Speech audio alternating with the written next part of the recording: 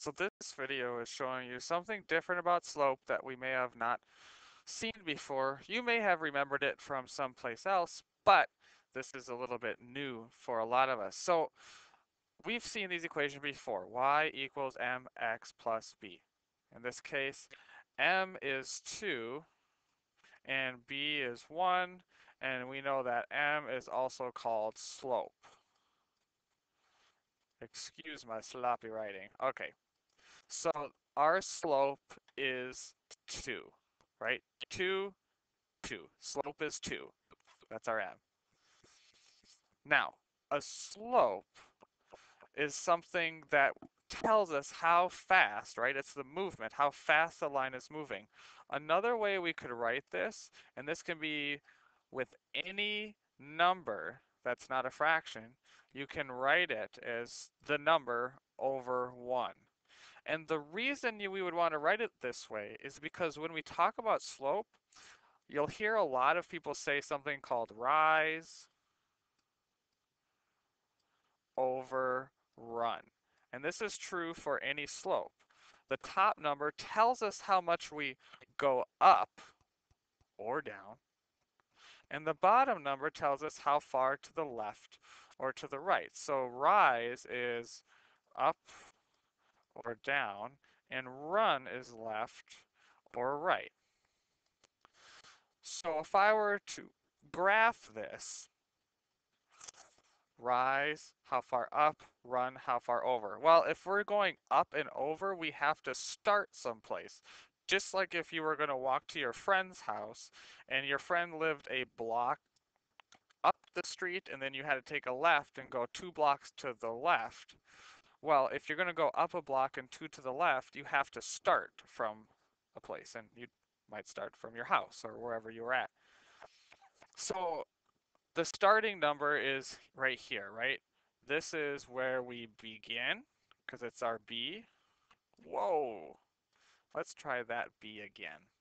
That's funny. B again, B again. uh, you know, sometimes. B again. So it's where we start. Right, and the new thing we called it was our y intercept, where we cross the y-axis. And this is something you've talked about in earlier lessons. So you should be familiar with y-intercept. That was, I think, the last lesson or one before this, or two before this. Okay, so this one will start at the y-intercept. Here's my y of 1. And it's going to go up to, so I'll make this a nice big dot at the y-intercept of 1. And it will go up to 1, 2, right? So this is 1, 2. So this is the rise.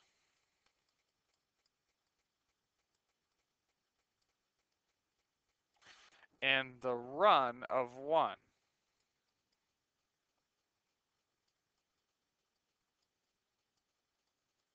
Run of 1.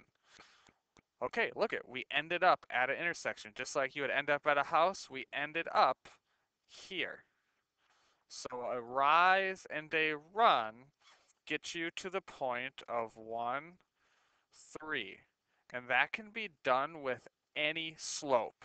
You start you go up or down, and then you always go a run to the left or to the right.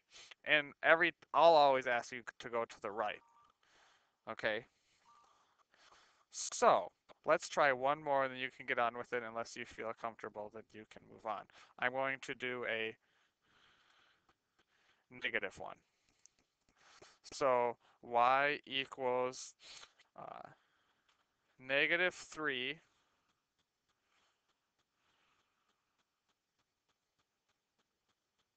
x plus 2. Okay. Sorry. My picture disappeared.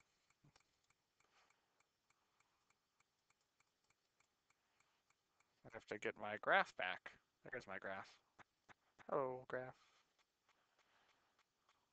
Okay, so we start at 2. We start at 2 right here on the y-intercept, right? That's where I start.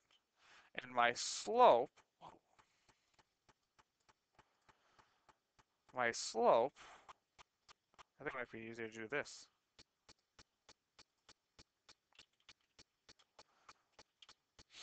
is negative 3.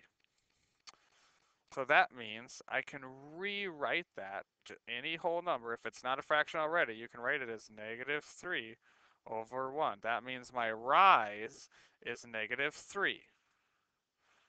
1, 2, 3. But Mr. Mosiman, you said it was a rise. Yeah, I know, but if it's negative, you go down, so get over it. So this is rise negative 3. And then my run is still positive 1, so you'd go to the right 1.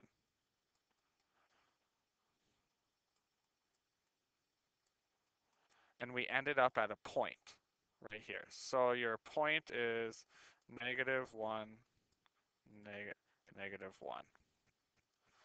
Okay, that's how slope works. Pretty cool. Go to the next video.